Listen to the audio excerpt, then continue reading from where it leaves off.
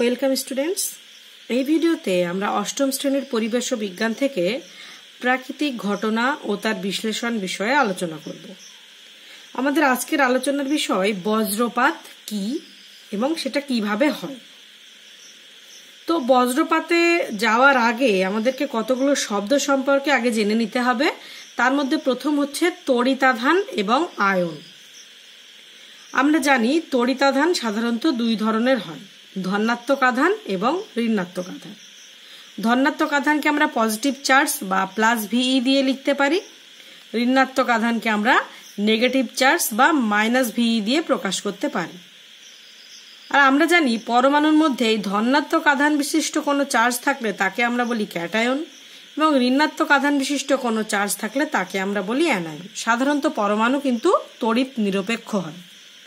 পরমাণু থেকে যদি এক বা একাধিক ইলেকট্রন বেরিয়ে যায়, তার মানে পরমাণুতে ইলেকট্রনের ঘাটতি সৃষ্টি হয়, সেই সময় আমরা পরমাণুটিকে বলি ক্যাটায়ন।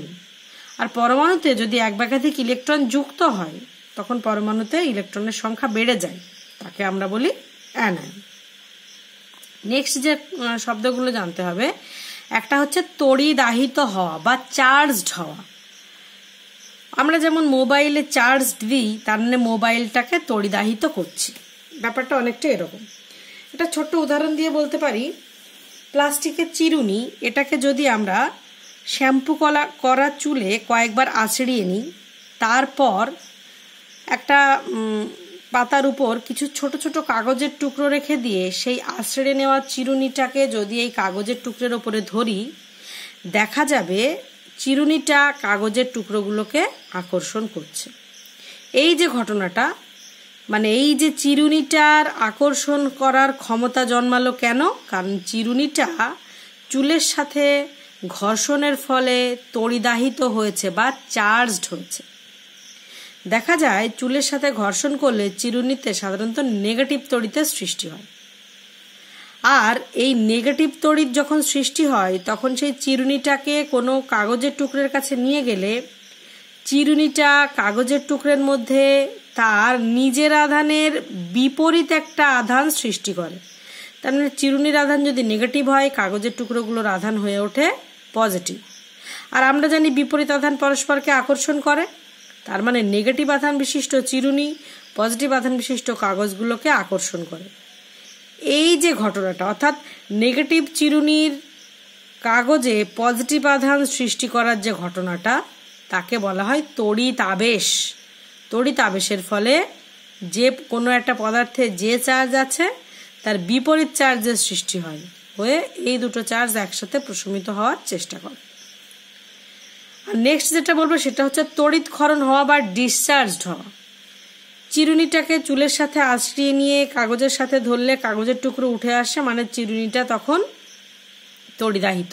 এই তড়িদাহিত অবস্থায় চিরুনিটাকে যদি খানিক্ষণ ফেলে রাখা হয় খানিক্ষণ পর দেখা যাবে চিরুনিটিতে আর ওরকম কোনো ধর্মই নেই। সে আর কাগজের টুকরোকে আকর্ষণ করতে পারছে না। তার মানে কি?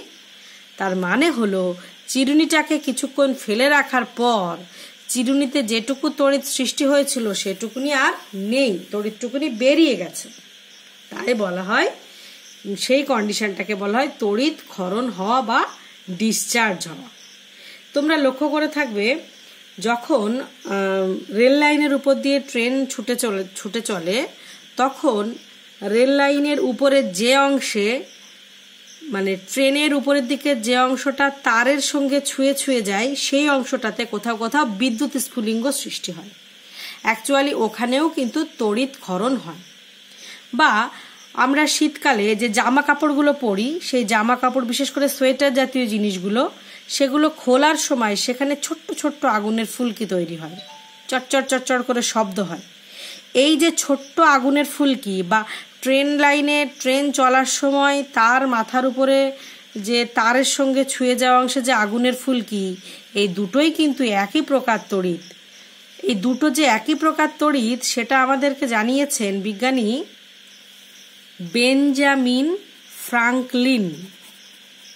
ইনি বলেছেন, এই যে সমস্ত আগুনের ফুলকি তৈরি হওয়ার ঘটনা, যেটা ট্রেনের ওভারহেড তারের সঙ্গে যে আগুনের ফুলকি সৃষ্টি হয়, বা বজ্রপাত হওয়ার সময় যে আগুনের ফুলকি হয়, বা এই যে শীতকালে জামা কাপড় খোলার সময় যে আগুনের ফুলকি হয়, উনি সতেরোশো বাহান্ন সালে প্রমাণ করেন যে এই সমস্ত আগুনের ফুলকিগুলো একই জাতীয়। নেক্সট যে শব্দগুলো জানা লাগবে, সেগুলো হচ্ছে বিভব পার্থক্য আর তড়িৎ প্রবাহ। জল যেমন আমরা জানি উচ্চ স্থান থেকে সর্বদা নিম্ন স্থানের দিকে যায়, তেমনি তড়িৎ উচ্চ বিভব থেকে সর্বদা নিম্ন বিভবের দিকে যায়। উচ্চ বিভব মানে যেখানে বিভবের মান অনেক বেশি, নিম্ন বিভব মানে বিভবের মান তুলনামূলকভাবে কম। এই দুই জায়গাকে যদি একটা তড়িৎবাহী তার দিয়ে যুক্ত করে দেয়া হয়, তাহলে সব সময় তড়িৎ প্রবাহ উচ্চ বিভব থেকে নিম্ন বিভবের দিকে যাবে। তো যে কোনো একটা বস্তুখণ্ডের দুই পাশে যদি বিভবের আলাদা আলাদা বিভব হয়। একদিকে উচ্চ বিভব ধরে নিলাম আর একদিকে ধরে নিলাম নিম্ন বিভব। মানে বস্তুখণ্ডের দুই বিপরীত পার্শ্বে যদি বিভবের পার্থক্য দেখা যায়, যাকে আমরা বলব বিভব পার্থক্য তাহলেই সেই বস্তুখণ্ডকে পরিবাহী তার দ্বারা যুক্ত করে দিলে এর মধ্যে দিয়ে তড়িৎ প্রবাহ চলবে। মনে রাখতে হবে, কোনো একটা কোষ, কোনো একটা সেল বা ব্যাটারি বা কোষ তার দুই প্রান্তে যদি আমরা বিভব পার্থক্য সৃষ্টি করতে পারি, তবে এটাকে পরিবাহী তার দ্বারা যোগ করে যে কোনো কাজ করার সময় এটা তড়িৎ প্রবাহ করবে। তার মানে কোষের দু প্রান্তের বিভব পার্থক্যের জন্যেই কিন্তু তড়িৎ প্রবাহ ঘটে। তাহলে তড়িৎ প্রবাহর মূল কারণ হচ্ছে বিভব পার্থক্য। কোষের দুই প্রান্তে বিভব পার্থক্য যদি ঘটে, তবেই সেখানে তড়িৎ প্রবাহ সৃষ্টি হবে। আমাদের যে ভূপৃষ্ঠ আর আকাশ, দেখা গেছে এই আকাশ আর ভূপৃষ্ঠের মধ্যে বিভবের এরকম পার্থক্য দেখা যায়। প্রতি পঞ্চাশ কিলোমিটার মানে ভূপৃষ্ঠ থেকে যদি পঞ্চাশ কিলোমিটার অবধি উপরে ওঠা যায়, সেখানে যে আকাশটা পাওয়া যাবে, সেই আকাশের সাথে ভূপৃষ্ঠের বিভব পার্থক্যের মান চার লক্ষ ভোল্ট। ভূপৃষ্ঠ আর আকাশের বিভব পার্থক্যের মান হচ্ছে চার লক্ষ ভোল্ট। এটা কতটা সেটা যদি বুঝতে হয়, আমাদেরকে দু লক্ষ সত্তর হাজার ড্রাই সেল যেগুলোকে আমরা ছোট ছোট ব্যাটারি ভাবি, এরকম দু লক্ষ সত্তর হাজার ড্রাই সেলকে যদি পরপর পরপর জুড়ি, তাহলে যে পরিমাণে বিভব পার্থক্য সৃষ্টি হবে, এই ভূপৃষ্ঠ আর তার পঞ্চাশ কিলোমিটার ওপরে অবস্থিত আকাশের মধ্যে বিভব পার্থক্যটা তারই সমান। তার মানে আকাশের সাথে পৃথিবীর কিন্তু বিভব পার্থক্যের মান খুব বেশি। একটু আগে বললাম, বিভব পার্থক্য যদি থাকে, সেখানে কিসের সৃষ্টি হবে? তড়িৎ প্রবাহ সৃষ্টি হবে। তার মানে যেহেতু পৃথিবী পৃষ্ঠ আর আকাশের মধ্যে বিভব পার্থক্য আছে, তার মানে আকাশ আর ভূপৃষ্ঠের মধ্যে তড়িৎ প্রবাহিত হবে। এখন প্রশ্ন হলো, আকাশ আর ভূপৃষ্ঠের মধ্যে তড়িৎ পরিবহনে কে সাহায্য করবে? সাহায্য করবে বায়ুতে মিশে থাকা বিভিন্ন রকম আয়ন আর আধানযুক্ত যে সূক্ষ্ম কণা, তারা বিভব পার্থক্যের দরুন এই আকাশ আর ভূপৃষ্ঠের মধ্যে তড়িৎ প্রবাহিত হতে সাহায্য করে। এবার যদি আমরা দেখে নিই যে বজ্রপাত ঘটনাটা কীভাবে হয়, তাহলে বলব, প্রথমে কি হয়, অনেকটা অঞ্চল জুড়ে নদী বা সাগরের জল যখন বাষ্পীভূত হয়, সেটা আস্তে আস্তে আস্তে উপরের দিকে উঠতে থাকে। তার মানে জলীয় বাষ্পপূর্ণ বায়ু ওপরের দিকে উঠতে থাকে। যত উপরের দিকে উঠতে থাকে, তত এখানে বায়ুমণ্ডলের চাপ তুলনামূলকভাবে কম হয়ে যায় এবং উষ্ণতাও তুলনামূলকভাবে কম হয়ে যায়। তাহলে জলীয় বাষ্পপূর্ণ বায়ু কিছুটা উপরে ওঠার পর সেটা উষ্ণতা এতটাই কমে গেল যে জমে সেটি তরলে পরিণত হল। তার মানে জলকণায় পরিণত হলো। এখন প্রশ্ন হলো, বাষ্প থেকে যদি জলকণা হয়। মানে বাষ্প থেকে যদি তরল হয়, সেক্ষেত্রে কি করতে হয় বলতো কিছুটা পরিমাণে তাপ বের করে দিতে হয়। এই যে পরিমাণে তাপটা বের করে দেয়, তাপ কমে গেল। তার মানে সেই যে পরিমাণে তাপ বের করে দিল, সে, সেটা লিন তাপ আকারে বেরোয় হ্যাঁ? তো এই লিন তাপের প্রভাবে এইখানকার যে জলীয় বাষ্প আর জল, জলকণা ভরা যে বায়ু, তাহলে জলীয় বাষ্পও আছে, কিছুটা জলকণা ভর্তি বায়ু আছে। এগুলো হালকা হয়ে গেল। লিন তাপ ছেড়ে দিল, কিছুটা গরম তাপই ছেড়ে দিল, তার মানে এটা হালকা হয়ে গেল এবং গরম হয়ে গেল। হালকা এবং গরম হয়ে এইখানকার জলীয় বাষ্পপূর্ণ বায়ু আবার ওপরে উঠতে শুরু করবে। আরও ওপরে উঠে যাওয়ার পর এইখানে তাপমাত্রা এতটাই কম যে জলীয় বাষ্পপূর্ণ বায়ুটা এখানে গিয়ে জমে যাবে। জমে গিয়ে ক্ষুদ্র ক্ষুদ্র বরফ কণায় পরিণত হবে। এরপর এই বরফ কণাগুলো একটু তুলনামূলক ওজন বেশি। আর ভূপৃষ্ঠের আকর্ষণ বলও আছে।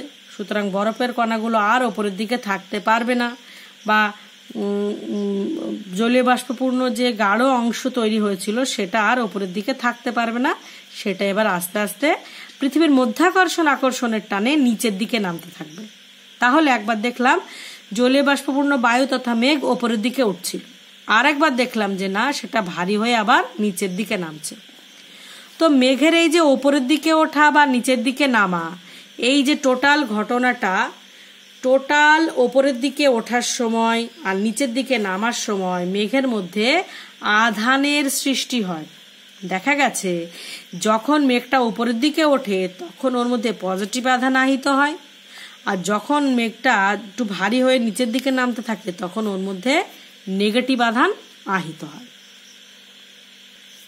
তার মানে আলটিমেটলি দাঁড়াচ্ছে যে মেঘের উপরের দিকের অংশগুলো সব পজিটিভ আধান বিশিষ্ট হয় আর নিচের দিকের অংশগুলো সব নেগেটিভ আধান বিশিষ্ট হয়। এই মেঘ যদি নামতে নামতে একটু ভূপৃষ্ঠের কাছাকাছি চলে আসে, তখন কি হবে? আবেশ বলে যে ঘটনাটা ঘটেছিল মানে কোনো একটা বস্তুতে যে আধান থাকে, বস্তুটা তার আশেপাশে থাকা বস্তুতে তার বিপরীত আধান আহিত করে দেয়, দিয়ে পরস্পরকে আকর্ষণ করে। ঠিক সেই ঘটনা, যাকে বলা হয় আর কি তড়িৎ আবেশ ঠিক সেই ঘটনাটাই এখানে ঘটে। এখানে কি হয়? মেঘের যে আধান আছে, মেঘটা যখন একটু নিচের দিকে নেমে আসে, ভূপৃষ্ঠের সঙ্গে সেই তড়িৎ আবেশের ঘটনাটা ঘটে। মেঘের নিচের দিকের অংশে থাকে ঋণাত্মক আধান।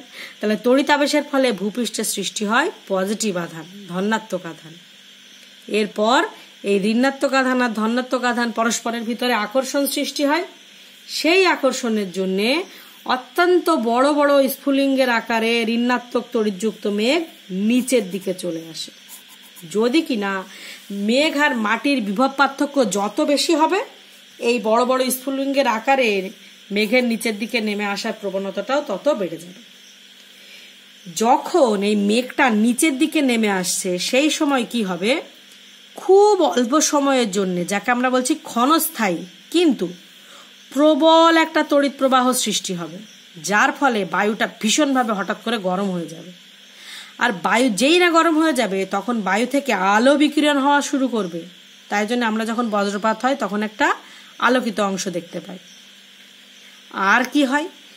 বজ্রপাতের সময় শুধু তো আলো দেখতে পাই, তা না আরও কি পাই? শব্দ শুনতে পাই। শব্দটা কি করে হয়, এবার একটু জেনে নিই। যখন বজ্রপাতটা হচ্ছে, তখন অল্প সময়ের মধ্যে বায়ু বললাম খুব গরম হয়ে ওঠে। বায়ু এতটাই গরম হয়ে ওঠে যে সেই অঞ্চল, যে অঞ্চলে বজ্রপাতটা হচ্ছে, সেখানকার বায়ু এতটাই গরম হয়ে ওঠে যে সেটা হালকা হয়ে উপরের দিকে উঠে যায়। তো বায়ু যখন হালকা হয়ে উপরের দিকে উঠে যাবে, এখানটা একটা সাময়িক শূন্য স্থানের সৃষ্টি হবে। তাই তো? সাময়িক শূন্য স্থানের সৃষ্টি হবে এবং তার চারপাশের বায়ুরা প্রবল বেগে কাঁপতে শুরু করে দেবে। এই যে প্রবল একটা কম্পনের সৃষ্টি হয়, তার ফলে একটা শব্দ উৎপন্ন হয়। তার মানে যখন মেঘ আর ভূপৃষ্ঠের মধ্যে ব্যবধান কম হয় মেঘের নিচের দিকে ঋণাত্মক আধান ভূপৃষ্ঠে ধনাত্মক আধান আহিত করে। আহিত করার পর মেঘ থেকে এবার নিচের দিকে নামার পালা। মেঘ যত নিচের দিকে নামবে তত মেঘের থেকে স্ফুলিঙ্গের আকারে বড় বড় অংশ মাটিতে চলে আসবে। যখন এই ঘটনাটা ঘটবে, তাকে আমরা বলছি বজ্রপাত এবং এই বজ্রপাতের পরে কি কি সৃষ্টি হয়? আলো সৃষ্টি হয় এবং শব্দ সৃষ্টি হয়। এখন প্রশ্ন হলো, যখন বজ্রপাত হয়, তখন আলো আর শব্দের মধ্যে কোনটাকে আমরা আগে অনুভব করি? নিশ্চয়ই সবাই জানো, বজ্রপাতের সময় আগে আমরা আলো দেখতে পাই, শব্দটা অনেক পরে শুনতে পাই। কারণটা কি? কারণ আলো আর শব্দ দুটোই বজ্রপাতে একই সঙ্গে তৈরি হয়, কিন্তু আলোর গতিবেগ বজ্রপাতের গতিবেগের থেকে অনেক বেশি মানে শব্দের গতিবেগ থেকে অনেক বেশি। তাহলে আলোর গতিবেগ যেহেতু বেশি, সেহেতু বজ্রপাতের সময় আলো সব সময় আগেই দেখা যাবে, আর শব্দটা কিন্তু সব সময় পরে শোনা যাবে। মনে রাখবে বজ্রপাত যখন হচ্ছে তখন আলো দেখে ঘর থেকে বেরোনো কিন্তু নিরাপদ নয়।